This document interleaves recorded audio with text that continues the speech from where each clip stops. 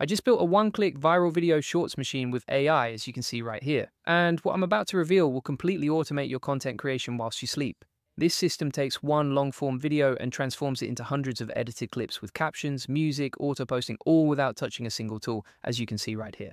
Now, what you're going to learn is the exact N8N workflow that clips your videos, generates captions for every platform, and schedules posts automatically. And you're also going to learn how this AI rates each clip with a virality score and selects only the highest performing segments. And on top of that, you're going to discover the secret method to turn one long form video into over 100 shorts that post themselves across TikTok, YouTube, Instagram, and everywhere else. So today I'm going to show you how I created this Shorts Clipper workflow that basically takes my long form video content, clips it into shorts automatically. You can create hundreds of shorts if you want to on autopilot and then generates the shorts sends them to Google Sheets, and you can actually auto post them to YouTube, Instagram, TikTok, etc. I'll show you exactly how to do that in a second. If you want to see an example of the video, let's pull this up. So, we, so this is the short clip with the captions and the audio directly. You can see right here. And if we actually unmute that, let me show you an example of how it sounds. Manus AI agents now have Veo 3 built right in, and this is your blueprint. This was created with an N8N workflow. I'll break through exactly how you can build it step by step today. And the other thing to note about this is it even adds music to the content and it's all done with an API. So let me break down exactly how it works step by step. You can see the full workflow here, pretty neat and tidy. If you want to just download the template, then you can get that inside the AI Profit Boardroom. Just go to the Video Shorts Clipper in the classroom, and then you can download the JSON and just one click import that into N8N. Pretty simple. Once it's done, you can see that we actually post the shorts automatically to a nice little spreadsheet like this. And then we are ready to go. By the way, just a quick one here as well. Just want to say that this was inspired by RoboNuggets, which is an awesome YouTube channel. I didn't use his template, but I did build it from scratch based on his video. Definitely worth checking out his channel. Awesome stuff. And basically what you can see here is we've got three stages. So we get the video URL of our long form content. Then we're going to generate the video. Then we're going to add the shorts URL to Google Sheets. Now, let me show you exactly how this works. So the first thing that you want to set up is a schedule trigger, like you can see right here. And with this schedule trigger, essentially what you can see on the schedule is once per day, this triggers, it looks through my spreadsheet, generates some shorts based on what's ready for production. So gets the videos from my spreadsheet, and this is inside this sheet template. Now, if you want to get that sheet template, I've actually got it inside the AI Profit Boardroom. So you can steal it from me. You can just go to File, make a copy. But basically, inside this spreadsheet template, you can actually grab a YouTube URL for the final output and then use that to generate the shorts, right? So, for example, here you can see that we've said get videos from my Google Sheets, within document get the row, and then look for only videos with the production that says needs shorts, right? So if it says, for example, shorts created that's going to be filtered and not used in the automation. But if it says need shorts, then that automation will be used, right? And it will create a short clip based on the automation that we want. From there, once we've got the long form URL, and by the way, you want to make sure that it's youtube.com slash watch. So make sure you use that type of URL, not like the normal URL from YouTube. And then from here, what we're going to do is we're going to be using a tool called klap.app. And this is really cool for turning videos to shorts. So you can see, for example, here we've got a bunch of short content based on the long form video. And essentially inside Klap, what you can do is you can get an API key for turning videos into shorts. So you can paste a YouTube link in here, it generates a video, and then that turns into a short. So once you've set up the, which is the endpoint, you're going to make sure you have post inside this HTTP node. And then on the header auth, I've used authorization. And then the key, like you can see right here, right? That's basically how you set up the API. So you just put in authorization as a name. You can rename this Klap in the top left. So you can reuse this automation whenever you want. And also inside the value you just passed in your API key. If you're wondering how do you get an API key from Klap, what you can do is you would just go to account to get an API key. What you would do is you just go to klap.app. Then you can find this example. And from there, you can go in the REST API and grab an API key like you can see right? Pretty simple and easy. Now, once you've set up the header, then from here, you're going to send body, and inside the send body section, you select using and then you can see how we've set this up, right? So what it's dynamically doing each time, it's taking the video URL from our Google Sheet and then plugging that into the body right here.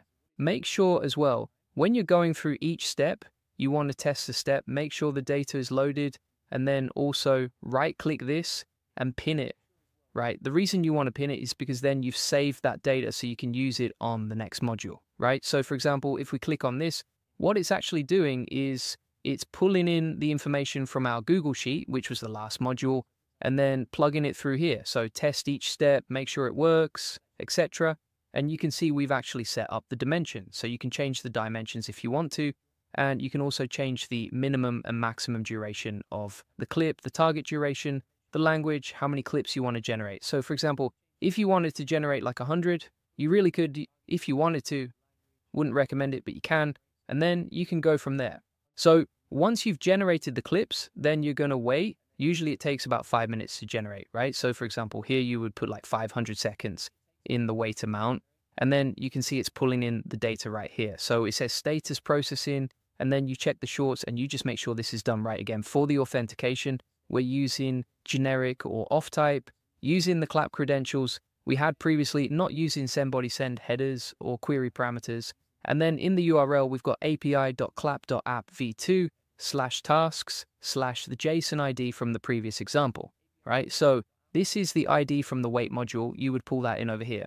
Once you've done that, you're going to check that short, just make sure it's done. And then you can see the JSON ID is pulled in. And this is forward slash task again.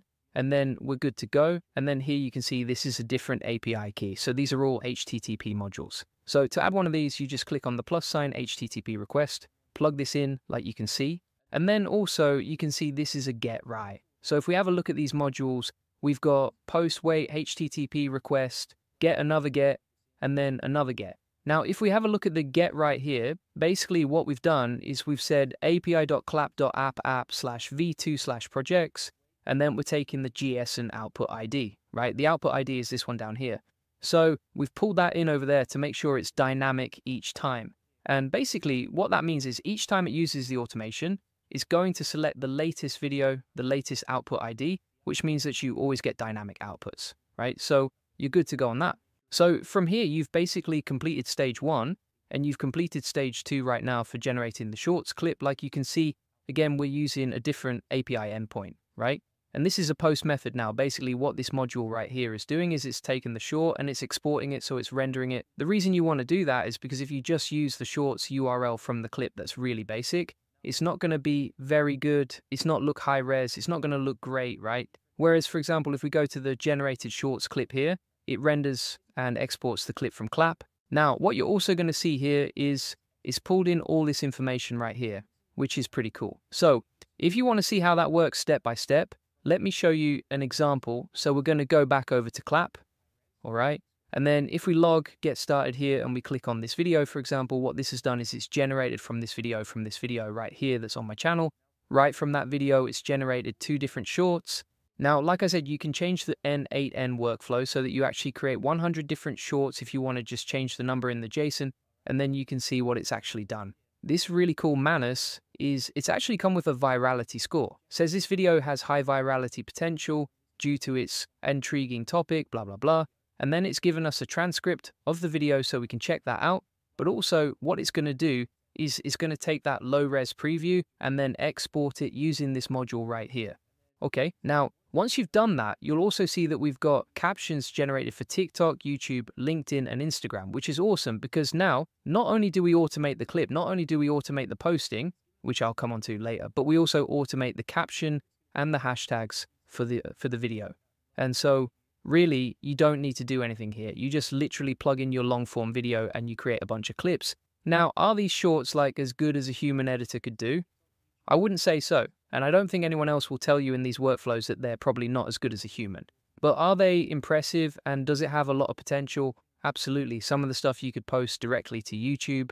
Again, inside the authentication here, we're using urapi.clap.app slash v2 slash rojects. And then here you can see this is interesting. If we pull this up, is we're using the JSON folder ID, which you've got from the previous module. And then we're also using the JSON ID, which you've got from the previous module over here, right? So folder ID, and then forward slash ID of the video, and then forward slash exports, right? So that exports the video. And then from here, you got the generic credential type send JSON using JSON.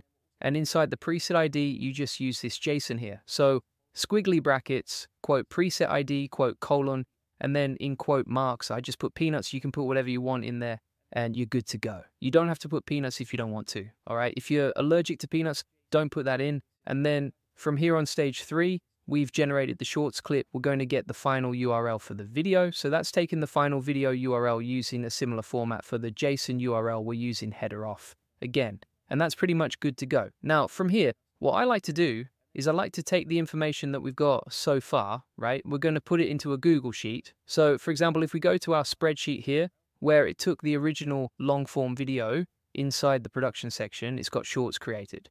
And basically what it's done is it's pulled in the information from our Google Sheet, mapped the columns automatically, and then updated the production status so that we know, okay, we've already created shorts for that. We don't need to do that again. And so it's not going to automatically run through the workflow again. If that makes sense, all right, then we test out, we're good to go on that. We can see the production section there. Finalizing and posting the shorts. And finally, this is the final part of the automation, is you're going to send this to Google Sheets right? So you can see here we've now got the storage link. We can go to our other tab, which is Shorts Clipper inside the template. We've got the title, the caption for YouTube, TikTok, LinkedIn, and Instagram matched. And basically what we've done here is we've got a Google Sheet module sheets within document. Append row is the operation, and then we've taken the information from the list. But the sheet that we're using is the Shorts Clipper sheet, which is this one right here. We're not using sheet number one. So inside there, we're good to go. And then inside the links, we've added the shorts link, the caption for YouTube, caption for TikTok, LinkedIn, Instagram, and then we put the status as to be published, which is right there, right? And we're good to go on that. So boom, shakalaka, that's how you basically automate clips and shorts from long form. Now, let me show you how to automate the posting. And by the way, if you just want to swipe and deploy template for all this stuff, you can get it inside the AI Profit Boardroom link in the comments description. From there, go to Video Shorts Clipper, you can see all the links, but the most important bit is the JSON file right down here. So what ifs if you want to auto post? I've actually got a video tutorial inside the AI Profit Boardroom, along with an importable template like you can see. And basically, as you can see inside this automation, you can actually export from the Google Sheet that you have with the video URL and the captions, which is this one right here. You can export that via a tool called Blotato. You upload that video to Blow, and then you're going to post that over to TikTok, to Instagram, to YouTube, whatever you want to use, right? So you can see how we've automated the whole process right here. Really simple and easy and very powerful as an automation, right? And all you need to do is, again, you can just download this template. And then if we go over here, we can import the template. So we'll import from file, get that JSON file, boom, auto post are linked, right? And then if we actually delete that node, and then we'll link this over here. Boom. Shakalaka, you just got the auto posting ready to go, right? Crazy stuff. So that is basically the full automation for N8N, including how to automatically get a long form video, turn it into a couple of shorts, send them to a spreadsheet, and then take that spreadsheet and upload it to TikTok or any other platform. Again, all the video notes and the templates are inside the AI Profit Boardroom. You can just get the JSON files and also, if you want to see an example of the video auto posted to TikTok, let me show you an example right here. If you go to this profile, you can see an example of a video that I actually automated with another N8N automation and then uploaded to TikTok. Boom. So, thanks so much for watching. If you want to get all of my best templates, workflows, etc., you can get them all inside the AI Profit Boardroom. This comes with tons of different N8N agents, along with a lot more. But if you want to get all my best N8N templates, like you can see, including a Gene Avatar Automator. You've got a Suno AI music generator. We've also got a Veo 3 automation for creating like insane videos with a click, a Reddit bot that can actually just search Reddit and then give you answers and information based on that. Even like translation bots, we've created like automatic translators inside the AI Profit Boardroom. That's all available right there. And this also comes with three coaching calls per week. So you can connect with me personally, you can jump on the coaching calls, and the Q&A calls three times per week. If you want more, we'll probably add more. It's up to you. Just let us know once you've joined and we can figure out, okay, do you want more calls or you want less calls? or what's the best thing for you. And then also inside the community here, you can see that we help people, we share our wins, we celebrate our victories. And it's just an awesome community of people who connect about basically scaling and making money with AI. And that's what the whole game is about, right? Additionally, what you can do inside here is you can request any automations that you need help with post inside this thread, and then we'll answer any questions and give you video tutorials and build stuff for you completely for as part of the package of the AI Profit Boardroom. So you can get this all directly here.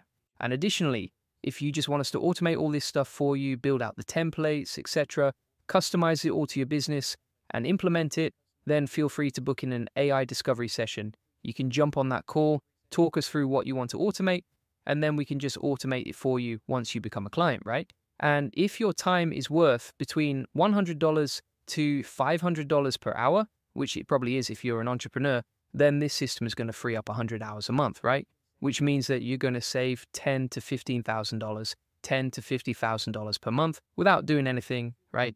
We just do everything for you. So feel free to get that link in the comments description. Happy to help